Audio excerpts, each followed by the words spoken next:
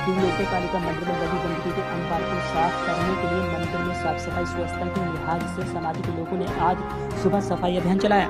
प्रधानमंत्री मोदी जी के स्वस्थ भारत अभियान के तहत जनता को जागरूक करने के उद्देश्य से टाटा प्रोजेक्ट के केंद्र के कर्मचारियों ने सफ़ाई का बेड़ा उठाया। मंदिर परिसर में श्रद्धालु द्वारा चुन्नी धूप, बत्ती, पैकेट और अन्य सामग्री इधर उधर डाली जाती है, जिससे मंदिर का वातावरण स्वस्थ होने की बजाय दूषित हो जाता है। गंदगी का संकट पैदा हो जाता है। मंदिर में साफ़ सफ़ाई कर रहे लोगों ने बताया कि माननीय प्रधानमंत्री द्वारा देश में स्वस्थ भारत की अलग जगाई गई है। हमें अपने शहर और घर जहाँ भी हम रह रहे हो उसको साफ़ रखना चाहिए और आसपास के एरिया को भी साफ़ रखना चाहिए। कर्मचारी द्वारा सफ़ाई अभियान चलाकर जनता को जागरूक किया गया और जनता के लिए एक संदेश सफ़ाई के माध्यम से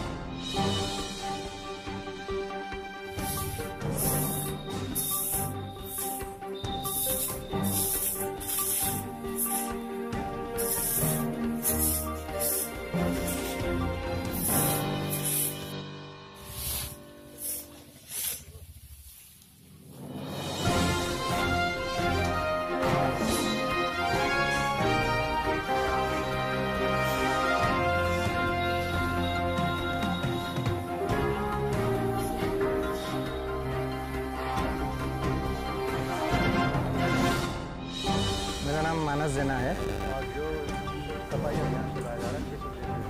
ये है हमारा हम्म, महात्मा गांधी जी का हम ट्रिब्यूट कर रहे हैं देखिए उनका डेढ़ सौ तम जन्म दिवस में। यह अभी जो हमारा उनके हिसाब से जो मोदी जी का भी निकला मतलब वो भी हमारा देश को साफ़ करने के लिए जो अभियान शुरू किए हैं बस उसी को आज से हम लोग शुरू कर रहे हैं। अगर हम हमारा पड़ोसी हमारा सोसाइटी को साफ़ रखेंगे तो